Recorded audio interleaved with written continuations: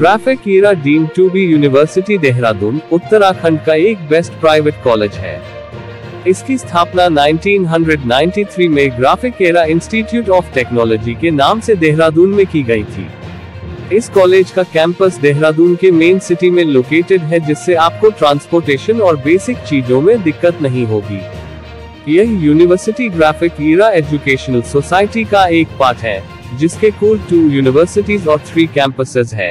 यहाँ पर एक नोट करने वाली बात Graphic Era deemed university Dehradun को इस वीडियो में और ग्राफिक ईरा हिल यूनिवर्सिटी के दोनों कैंपसेस देहरादून और भीमताल को अगले दो सक्सेसिव वीडियो में डिस्कस इसी हफ़्ते में किया जाएगा। तो चलिए ग्राफिक ईरा डीम्ड यूनिवर्सिटी का डिटेल्ड एनालिसिस स्टार्ट करते हैं। आपका स्वागत है। ग्राफिक एरा देहरादून से सबसे करीब रेलवे स्टेशन है। देहरादून रेलवे स्टेशन, जो लगभग 8 किलोमीटर दूर है। और देहरादून एयरपोर्ट सबसे सामने एयरपोर्ट है, जो लगभग 32 किलोमीटर की दूरी पर है। आज का रिव्यू शुरू करने से पहले हम लोग ग्राफिक ईरा डीम्ड यूनिवर्सिटी और ग्राफिक ईरा हिल यूनिवर्सिटी में कुछ डिफरेंस देखेंगे, जिससे आगे आपको वीडियो अच्छी तरह से समझ में आएगा। ग्राफिक ईरा एजुकेशनल सोसाइटी के two universities Graphic Era deemed university और ग्राफिक ईरा हिल यूनिवर्सिटी है। और इसमें ग्राफिक ईरा हिल यूनिवर्सिटी का भी टू कैंपसेस देहरादून और भीमताल में स्थित है। लास्ट में आप दोनों यूनिवर्सिटी के कुछ मेजर डिफरेंसेस को स्क्रीन पर देख सकते हैं, जहाँ Graphic Era deemed university centrally recognised university है, वहीं दूसरी ओर Graphic Era hill university state recognised university है। बाकी डिफरेंसेस को भी आप स्क्रीन पर देख सकते हैं।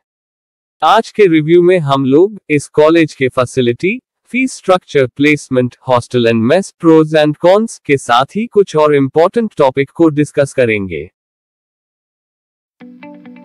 कोर्सेस ग्राफिक एरा में आप मल्टीडिसिप्लिनरी कोर्सेज को सेलेक्ट कर सकते हैं। आप सभी कोर्सेज के नाम स्क्रीन पर देख सकते हैं। आज का हमारा मेन फोकस इंजीनियरिंग कोर्स पर है। बाकी कोर्सेज को अगले वीडियो में डिस्कस किया जाएगा। फैसिलिटीज़ इस कॉलेज के पास एक अच्छा इंफ्रास्ट्रक्चर मौजूद है, जैसे कि multiple labs well design buildings cafeteria and much more hostel and mess hostel में डबल और triple room sharing option available है, जहाँ आपको हर बेसिक फैसिलिटी प्रोवाइड कराई जाएगी। आप सभी हॉस्टल के नाम को फ़ीस स्ट्रक्चर के साथ स्क्रीन पर देख सकते हैं। साथ ही साथ स्ट्रिक्ट हॉस्टल रूल्स को भी स्क्रीन पर देख सकते हैं। लाइब्रेरी इस कॉलेज के पास लाइब्रेरी की एक अच्छी सुविधा उपलब्ध है, जहाँ आपको बहुत सारी किताबें मैगजीन जर्नल न्यूज़पेपर्स के साथ ही साथ डिजिटल लाइब्रेरी की सुविधा भी मिल जाती है। अब प्लेसमेंट रिपोर्ट की बारी।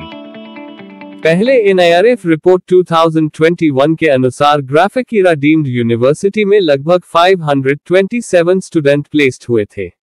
और मीडियन सैलरी पैकेज 2020 में बीटेक वालों के लिए 4.80 लाख पर एनम और एमटेक वालों के लिए 3.5 लाख पर एनम गई थी। यूनिवर्सिटी के ऑफिशियल वेबसाइट में दोनों यूनिवर्सिटी के तीनों कैंपस का रिपोर्ट मिलाकर दिया हुआ है, जिसमें Graphic Era deemed university Dehradun और ग्राफिक ईरा हिल यूनिवर्सिटी के दोनों कैंपस देहरादून और भीमतल शामिल है।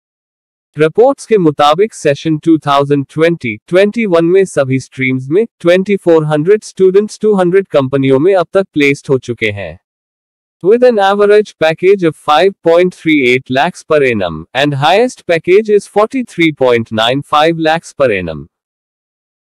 Screen पर आप साल 2021, 2020 और 2019 के कुछ स्टूडेंट्स के डिसेंट पैकेजेस को देख सकते हैं कुछ टॉप रिक्रूटर्स की लिस्ट आप स्क्रीन पर देख सकते हैं जो ग्राफिक एरा के कैंपस को विज़िट करते आए हैं। ग्राफेस्ट ग्राफिक एरा का एनुअल फेस्ट है, जिसका रंगारंग आयोजन कराया जाता है। इस फेस्ट में बड़े बड़े सितारों को भी शामिल किया जाता है।